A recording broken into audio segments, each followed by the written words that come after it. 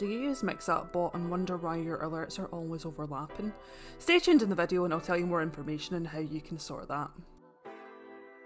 So we're coming over to Mix It Up bot now and you're going to go to your little settings cogwheel up here on the right hand side. Now yours will be preset probably to per command type um, there's, there's a lot of explanations about that. Please feel free in the comments to ask about that. But pretty much that's just going to run the commands. Like, see if it's like an event or if it's a command, they can overlap each other at the same time. Now, the one that I've now selected is singular. Now, there is actually a little explanation here what the singular one does. So, all commands will share the same lock, only allowing one command to run at a time.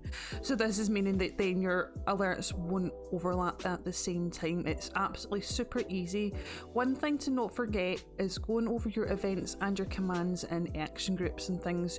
You want to make sure that um, your unlock command is turned off because if you have that turned on, you're going to find that you're going to have stuff um, jumping over the queue that you have with the singular type here because unlock command actually just overrides the system completely.